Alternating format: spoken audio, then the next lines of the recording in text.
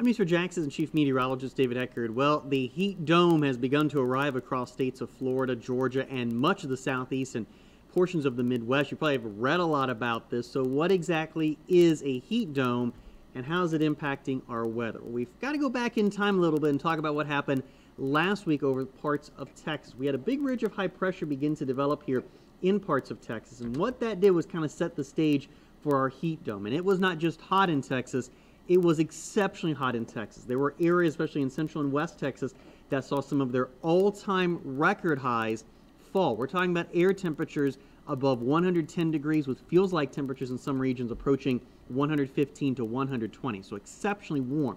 But when we talk about a heat dome, you have to remember the atmosphere is actually in three dimensions, and the atmosphere actually behaves like a fluid. Think of it like a bathtub. So the ridge of high pressure is actually kind of a dome that develops, and this dome doesn't really allow anything to penetrate it. So anytime a cold front or a storm system tries to move in, the system actually actually has to go around our heat dome, which is why a lot of the severe weather the last couple of weeks has been in the parts of the mid-Atlantic states and Northeast has to work around this heat dome.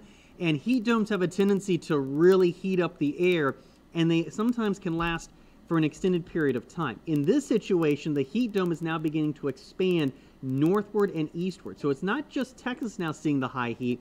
States like Mississippi, Alabama, Georgia, even here in Florida, and even parts of the Midwest like Kansas, Missouri, Southern Illinois, Southern Indiana, they're also seeing the heat as well. In fact, look at the updated heat alerts. This is a pretty expansive uh, list here of states. Really stretches from Kansas City all the way back through New Mexico, and you can even see the western coast of Florida, including the Tampa Bay area, outlook for this heat advisory. And we may see more heat advisories on the board here over the next couple of days, including in Jacksonville. So the next question is, how long will the heat last? Well, it's going to last for at least a extended period of time. You can see air temperatures will likely be in the mid to upper 90s all the way through next Monday. We may see a bit of a respite a or for uh, the July 4th holiday on Tuesday.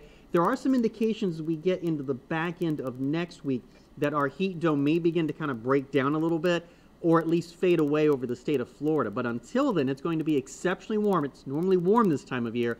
We're talking about temperatures that could approach dangerous levels, so be sure to take it easy if you're going to be outside. Drink plenty of fluids, wear light colored clothing. Try to get a bulk of your outdoor work done in the morning or in the evening hours where it's a little bit cooler. And finally, keep in mind that this is going to be with us for the next several days. So if you have some big yard projects to get done, you may have to do them kind of piece by piece over the next several days heading into the July 4th holiday. I'm Assistant Chief Meteorologist David Heckard for Channel 4, the local station.